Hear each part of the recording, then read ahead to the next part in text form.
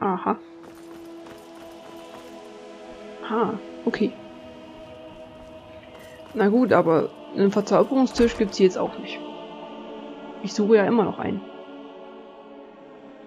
Reden wir nochmal mit der Dame, die wir gerade eben so einfach unterbrochen haben. Vielleicht hat sie ja doch ein paar Informationen für uns. Wäre ungewöhnlich, trotzdem nicht unmöglich. Jetzt ist sie weg, natürlich. Jetzt wo sie mal, jetzt wo man sie doch braucht. Ist sie vielleicht einfach nach unten gegangen? War ja auch möglich. Entschuldigung. Niemand mehr da und es geht auch nicht noch runter. Vielleicht. Schade, ich habe gedacht, wir finden jetzt super, was super Geheimes. Das wäre ein toller Ort gewesen. Für super geheime Verstecken.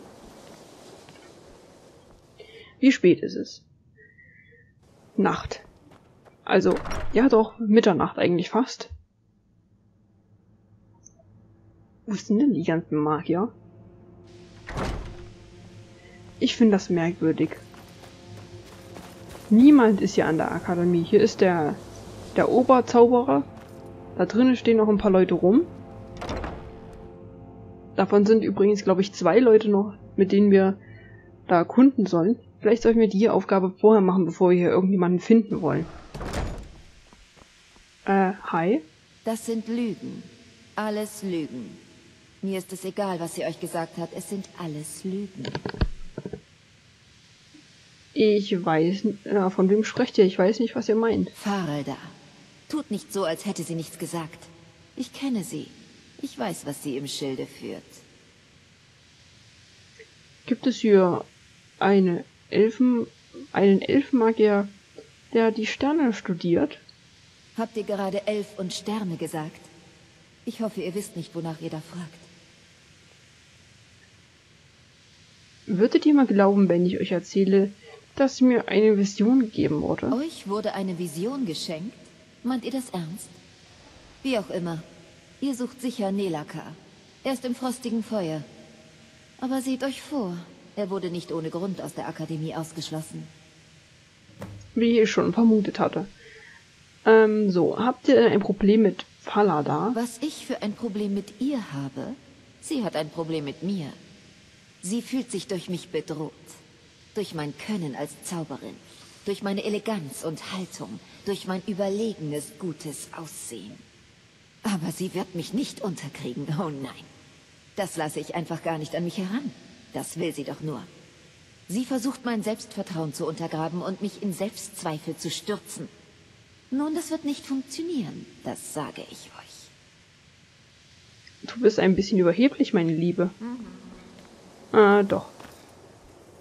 Ihr seid neu, stimmt's? Beherrscht ihr schon die Expertenstufe der Zerstörungszauber? Noch nicht, aber ich arbeite daran. Ah, das ist gut. Aber Jesargo wird sie zuerst beherrschen. Es ist eine gute Sache, endlich mit Magiern zusammen zu sein, die mit Jesargo mithalten können. Ihr seid wohl aufgeregt, hier zu sein? Oh, ja. Cesargo hofft, hier auf Dinge zu stoßen, die ihn zu einem mächtigeren Magier machen. Hoffentlich kleine Dinge, die in Taschen hineinpassen und bei denen nicht auffällt, wenn sie fehlen. Also, hast du vielleicht Interesse, lieber zur Diebesgilde zu kommen? Ihr wirkt sehr selbstsicher. Cesarco ist sich sicher. In vielen Dingen. Es gibt magische Fertigkeiten, Zauber und einen starken Willen. Cesarco wird erfolgreich sein. Daran besteht kein Zweifel. Natürlich besteht daran kein Zweifel. Warum habt ihr euch an der Akademie eingeschrieben? Für einen Khajiit, glaube ich, ziemlich ungewöhnlich, die Magie zu beherrschen. Den Magiern in Sirodil geht es nur um Politik. Die Synode und die Akademie des Flüsterns sind zu sehr damit beschäftigt, Geheimnisse zu hüten, als zu lehren. Himmelsrand war nicht Jesargos erste Wahl. Aber Winterfeste hält sich von politischen Dingen fern und widmet sich ganz der Forschung. Dies ist der Ort, an dem Jesargo groß werden wird. Das wirst du bestimmt. Es geht nicht immer nur um Konkurrenz, wisst ihr? Oh, das stimmt aber nicht.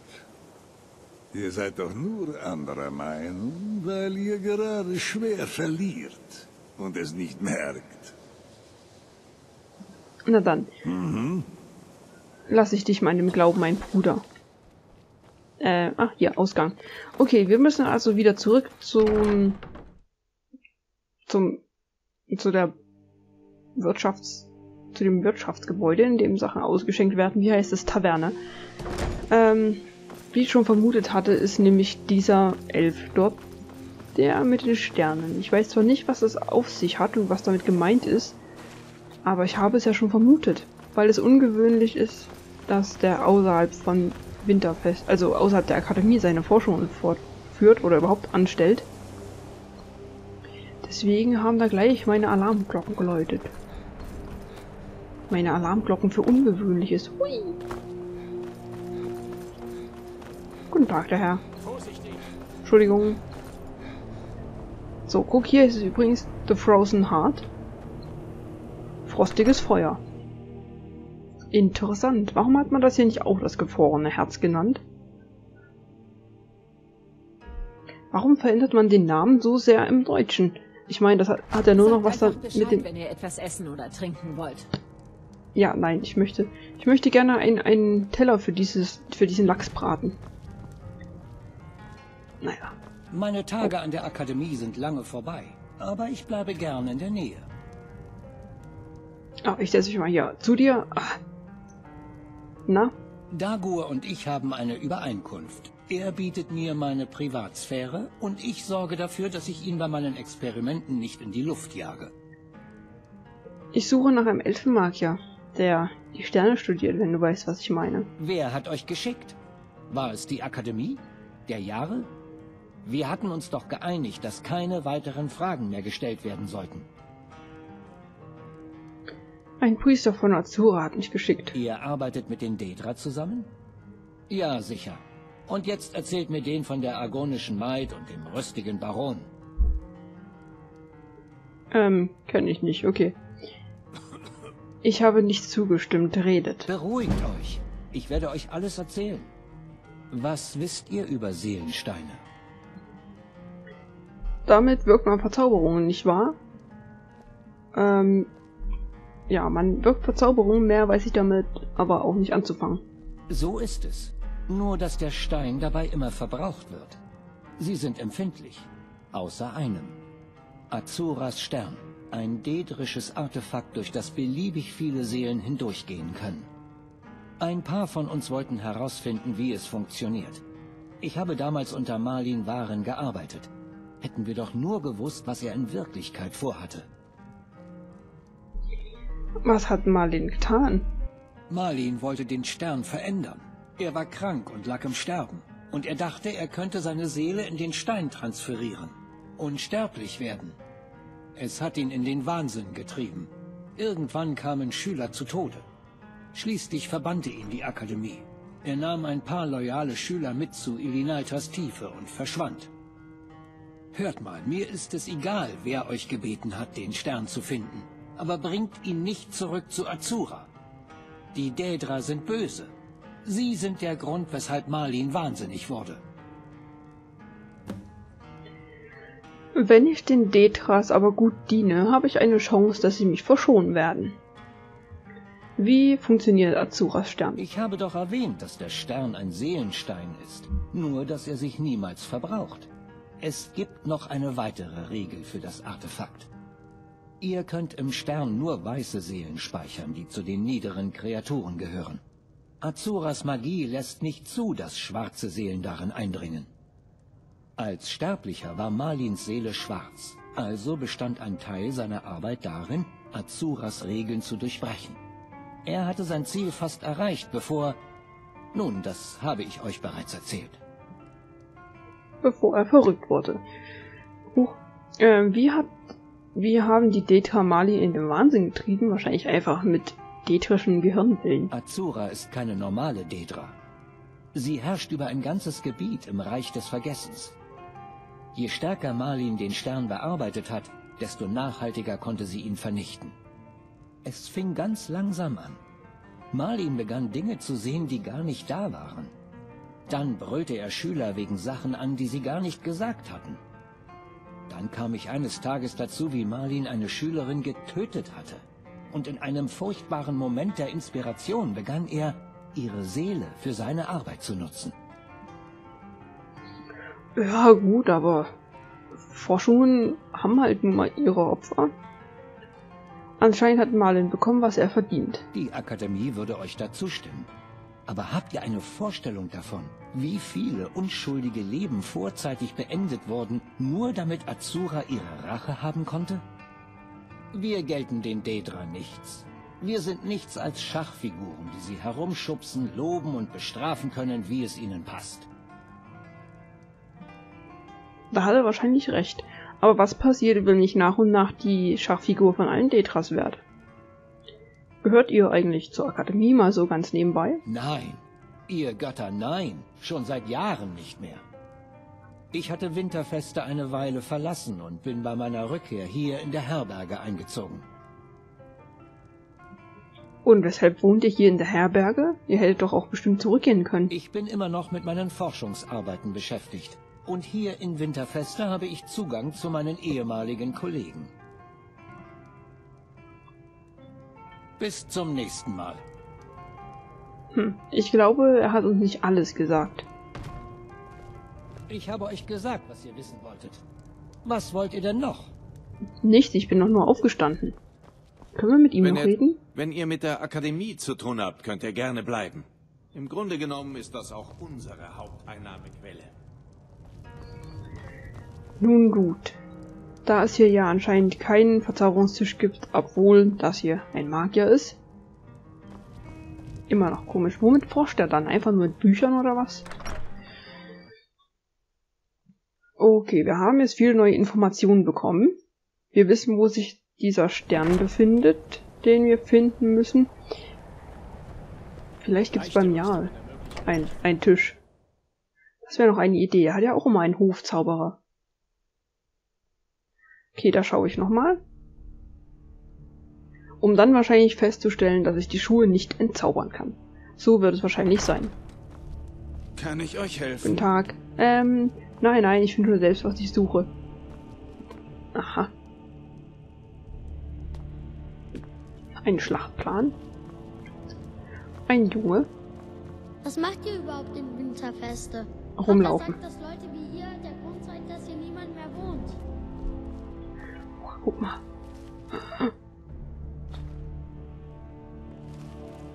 Das ist ein voll toller Stab, den musste ich mitnehmen.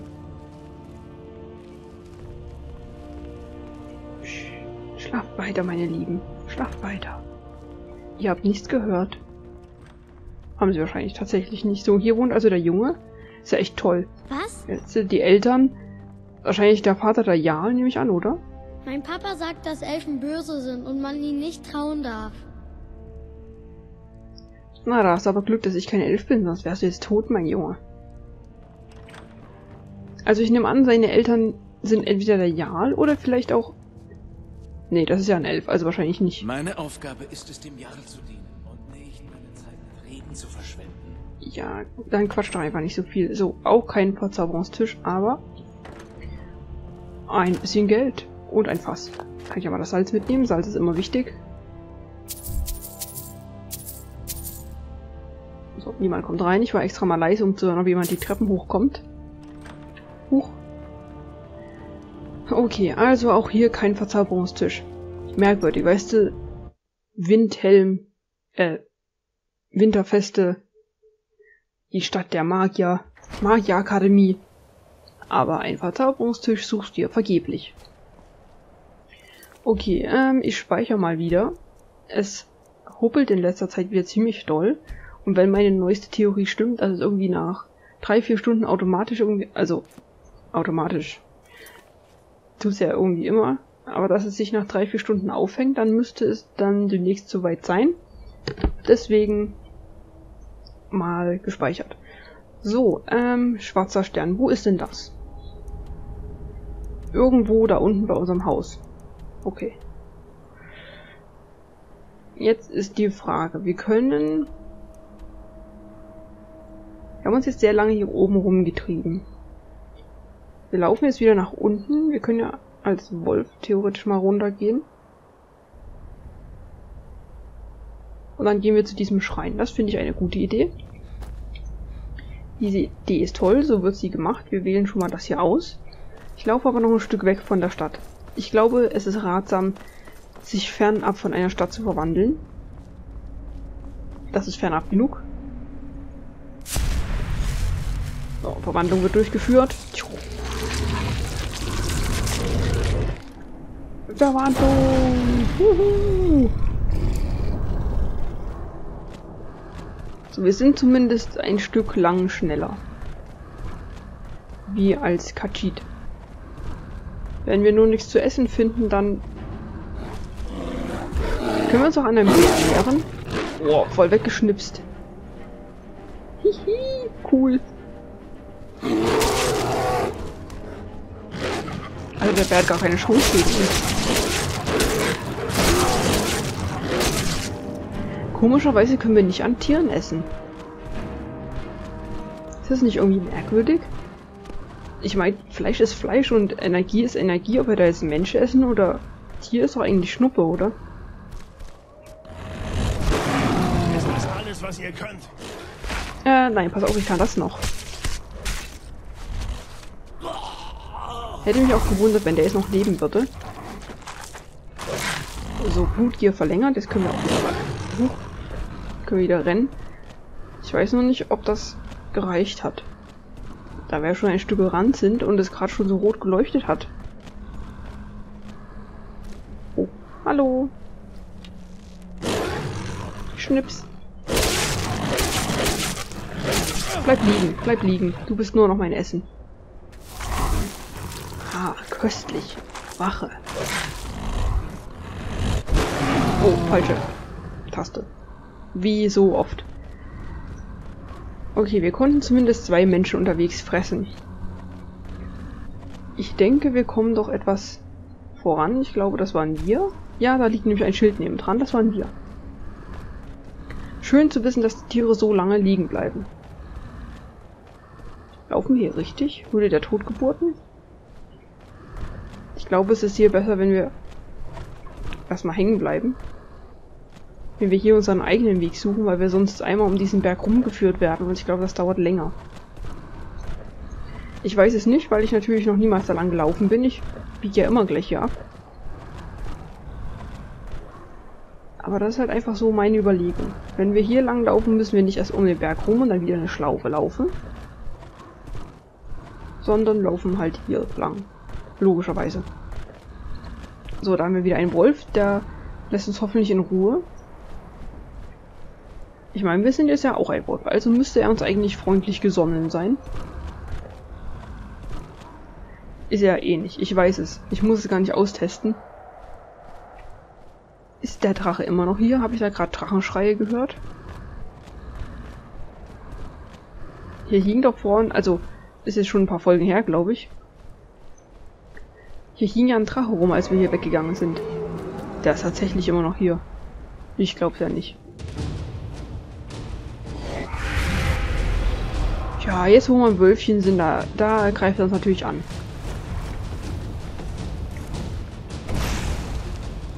Ja, das bringt bei ihm natürlich auch nichts. Ich möchte tatsächlich nicht als Wolf gegen ihn kämpfen. Wir scheinen uns aber gleich zurück zu verwandeln. Ist ja gut, mein Junge. Wo ist er denn?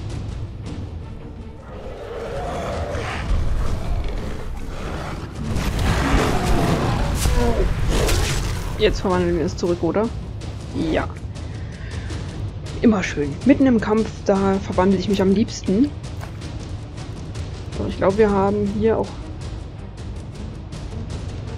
Äh, wir haben hier natürlich die Ausrüstung nicht mehr gelagert. Das ist immer schön. Hm. Helm und dieses und dieses. Das nicht. Haben wir jetzt schon alles an?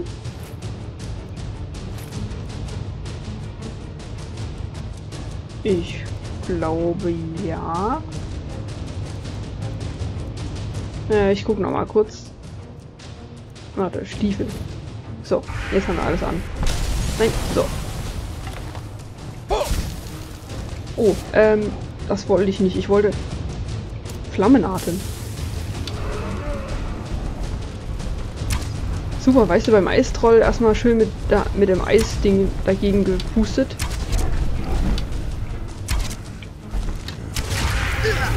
So, nach dem Drachenkampf. Wo ist der Drache? Ich. Da.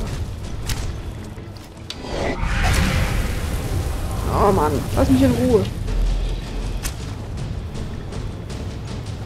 Wir werden das Level auf ab gleich nehmen, und zwar dann, wenn es kritisch wird mit unserer Gesundheit.